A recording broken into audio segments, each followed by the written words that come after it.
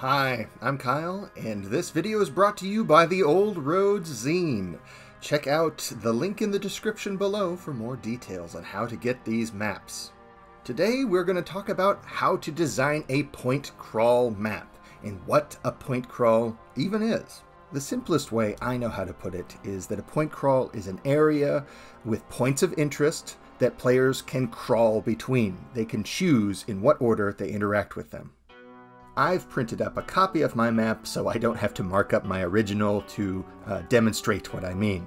It's difficult for me to pinpoint the origin of the term point crawl, uh, but I will have some uh, articles listed in the description below for you to check out at your leisure. Sometimes this method is called the point crawl, sometimes it's called points of light.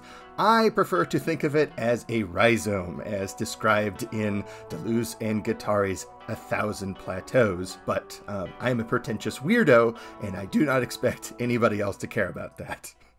To design a point crawl map, the first thing you really need is just to have some points of interest on it. Um, oftentimes in, in previous videos, you have seen me make a list of images or scenes that I, I see in my head, and I just kind of put them together and kind of try to make them somewhat evenly spaced throughout the map. The second part of a point crawl design is to make sure there are no walls, that if, no matter where you start on the map, you could your characters could probably see almost everything on it. There might be some things obscuring others, but for the most part, you could kind of chart your own path through that area.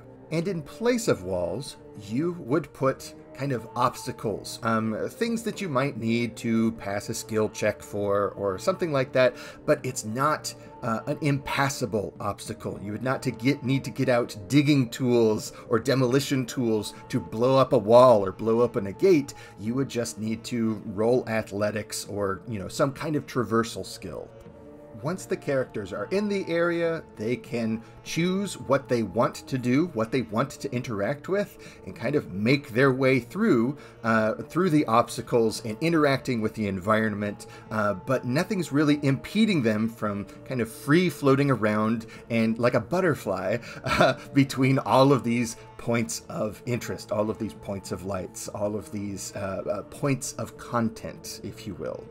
This is why having a map is so important. If the players can't see it and the characters can't see it, that transparency doesn't exist and they can't pick their own path and choose their own obstacles and go where they want to go. Uh, it's a very different style of running a game. Um, conventional wisdom has you think that information scarcity in a fantasy game like Dungeons and Dragons is important, but I think you can get a lot of enthusiasm and interest uh, just by showing people cool stuff to do and letting them pick their path to do it. Where I think things get really fun for me as a game designer, as a GM, as a player, uh, is when a set piece, when one of these points of interest doesn't necessarily directly connect with the critical path, the, the the overarching plot. It's just a little vignette for people to to role play, to inhabit the world, to imagine how cool it would be to hang out in a hot spring with a bunch of uh, goats that just uh, abide and chill above all else. And that's the big fun of designing games and, and running players through it and designing maps is the kind of emergent stories that come out of people interacting with the evocative details that you're putting in, whether it's through narration or it's through these kind of visual aids of maps. Uh, by putting kind of these mysterious points of interest on something and and just allowing players to have fun and and run around and play and allow their characters to emerge and allow the story of them picking their path through that environment to emerge. Um, this is this is kind of some of the stuff they talk about in the old school Renaissance or OSR. Uh, but I I really think uh, I really think that this can exist in anywhere. I think this really really uh, exists very nicely in the story gaming space as well, which is kind of where I feel most comfortable these days once you have your points of interest in place and you have uh, the transparency in place and you've kind of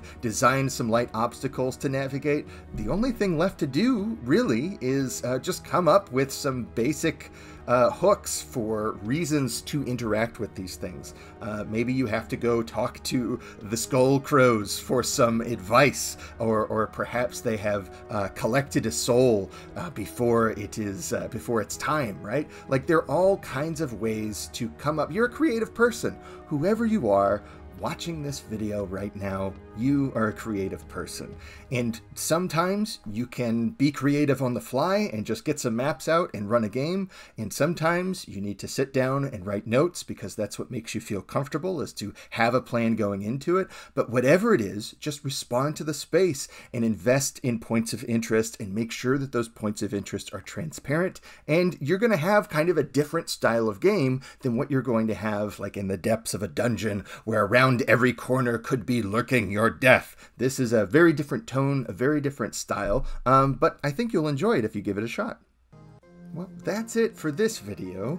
Uh, there's obviously a lot more to talk about with this stuff. I mean, people have been playing games for decades and decades. There's a lot of wisdom, there's a lot of strong opinions about these things, but hopefully this is a good start for thinking about designing a point crawl game and a point crawl map.